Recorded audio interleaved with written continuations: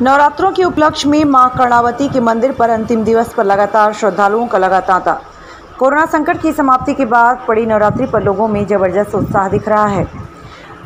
जनपद के पाँच नदियों के संगम, यमुना, चंबल, सिंध, पहुँच और कुंवारी में संगम पर स्थित माँ कर्णावती का अति प्राचीन मंदिर, जो लगभग हज़ारों वर्ष पुराना राजा और वीर विक्रमाजित उज्जैन के समकालीन सुप्रसिद्ध दानवीर राजा कर्ण, जो शवामान स्वर्ण प्रतिदिन दान करते थे।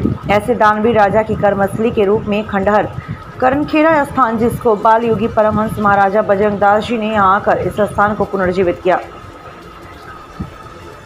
और आज जनपद में नहीं, बल्कि संपूर्ण भारतवर्ष में ख्याति प्राप्त कर रहा है, जहाँ हज़ारों के तादाद में श्रद्धालु आकर मत्था टेकते हैं। हमारे संवाददाता ने जब क्षेत्र का दौरा किया, माँ कर्णवती मंदिर पर पहुंचकर देखा तो लगातार श्रद्धालुओं की भीड़ बढ़ रही है। माता रानी के जवारे ध्वज नारियल ढोल नगाड़ों के साथ माता रानी के दरबार में पहुँच रहे हैं। माता रानी के दरबार में तरह तरह की दुकान, झूला, जंपी खाने पीने की दुकान और प्रसाद के साथ साथ अन्य प्रकार के सैकड़ों दुकानें लगी हैं, जिससे मेले में चार चाँद लग रहा है। वहीं दुकानदार भी अच्छी भीड़ और बिक्री के कारण प्रसन्न नज़र आए।